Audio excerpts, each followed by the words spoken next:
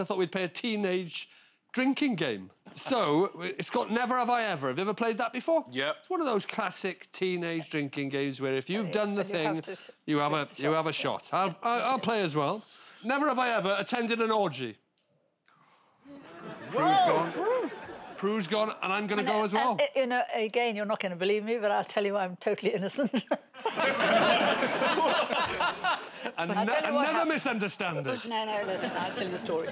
It was in Paris, and a boyfriend of mine said, Let's go to this party. I, I can get us in. I thought it was an ordinary party, and so I went off with him. And th- so did he. We just thought we were going to a party. And we were let in, and I, I swear, every room you went into, there were sort of naked bottoms bouncing, sort of bumping. I mean, like a sea of them. A sea of bottoms A sea of bottoms, and he was very pleased. He just disappeared in, instantly, and he was off.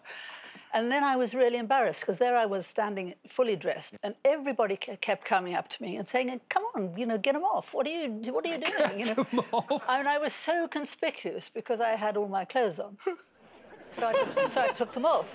right. Just to blend in. Just, to blend, in. Just to you understand? And I did. And I then had a much easier time of it. And I just spent the entire next couple of hours walking from the bar, pretending I wanted to drink, pretending I wanted to go to the loo, pretending I was looking for somebody, just sort of keep moving.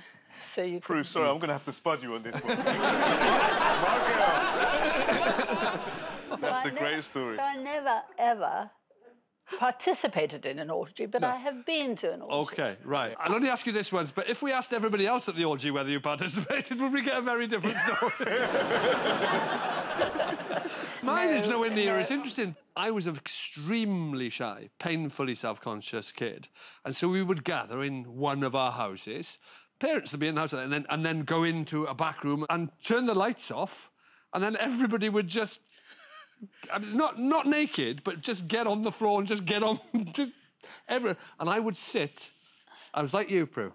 Uh, honestly, I would sit it out and I would sit in the corner on my own, just never got even got onto the floor with all the others. I could just hear all these sort of just little groans and grunts and things and stuff like And then after about three hours, this would go on for, and I would just be sat there. You sat there for three hours? Sat there, and, yeah, but at the end of it, we'd, we'd put the light back on, and I'd be like, "Oh, great session, everyone! See you next week." Yeah. I was just too shy, just too shy to join in. I wouldn't call that shy, Rods. Three hours in the corner of the orgy. There's a name for that, Rhod. It wasn't bouncing. Won't go there. Every week I'd go to an orgy. I was very shy. exactly. Chris, what was young Chris McCausland obsessed with? Probably SNES, mate. SNES stands for Super Nintendo. Super Nintendo Entertainment System, I think it is. Entertainment Yeah. System. It was the first console I owned. We got a picture of it here because this means nothing to me. I have to say. I mean, only through this show have I. No, they were amazing. I was a Sega guy, though. Wow. You see, Melvin was saying he was more of a Sega guy. Honestly, mate, SNES versus Sega, it was like Catholic versus Protestant, mate. Used to have marches and everything. Tell me about the Super Nintendo Entertainment Well, the Super System. Nintendo Entertainment System was uh, it was a cartridge uh, console.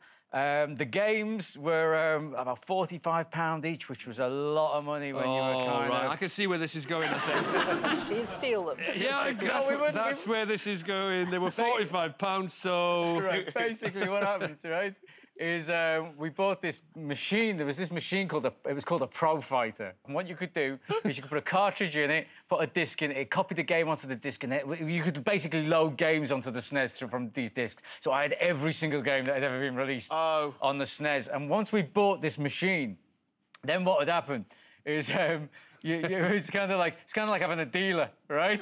Is you, there'd be like a fella that you buy games off, and he'd come round, right? And this is I must have been about 14, 15 at the time, and this bloke would come round, and he was like 28, which is double my age, right? He'd knock on the door, my mum would answer, and he'd go, "Is Chris in?" like that, and she'd go, "He's upstairs in his bedroom. Go up," and she'd send a grown man up to me. That is insane. right?